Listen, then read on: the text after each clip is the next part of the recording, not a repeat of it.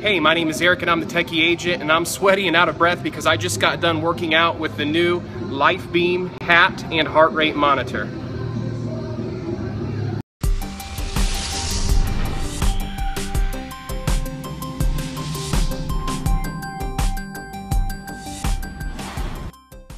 So the new LifeBeam hat came in a box that was bigger than I anticipated and when I opened it up I found this nice hard shell case that the hat comes in. Included were two different booklets, one being a quick start guide and the other one being the more extended manual. The case itself is really nice. It has kind of a carbon fiber kind of look with a little handle on the top. It also has a vented port area on the bottom of the case so that if you put the hat away when it's sweaty or wet, it'll kind of dry out. The hat folds up and fits nicely inside and then there's a little pocket underneath the hat right where that vent is at where you can store things like the USB cable.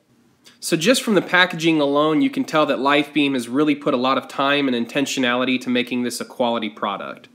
Now on the front side of the hat, right where your brow would be, there is an optical heart rate sensor. And then that sensor has wires that go around the side of a hat to a battery pack and control module that sits on the back of the hat in a little Velcro pocket.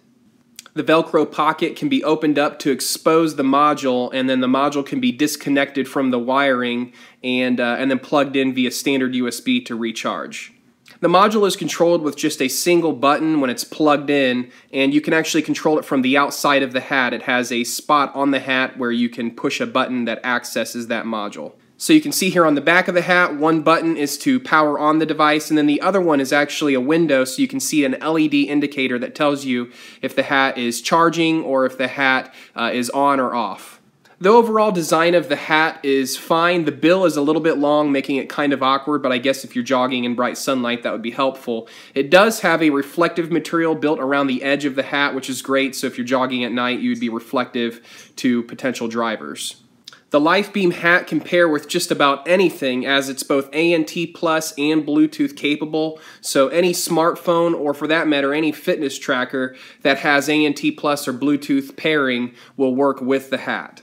Now, of course, I had to put it to the test, so I hopped on a treadmill and went about three miles, and the hat performed spectacularly. You know, heart rate monitors based on the wrist tend to get upset a lot, so they kind of yield infrequent uh, results with lots of dropouts. I didn't get any dropouts with the LifeBeam. I think part of it is that the optical heart rate sensor is in a better place where you're getting better blood flow on your head, uh, and it's a little bit more secure than a heart rate sensor on your wrist. So quite honestly, in the half an hour that I used it, I did not get one single dropout, so it really does have the reliability of a chest strap, which is pretty much considered the standard in heart rate monitoring. So if you're looking for a comfortable and reliable alternative to a chest strap, this is definitely it. I highly recommend it. Uh, you can pick this up online from the LifeBeam website and I think also Amazon.com for about 99 bucks.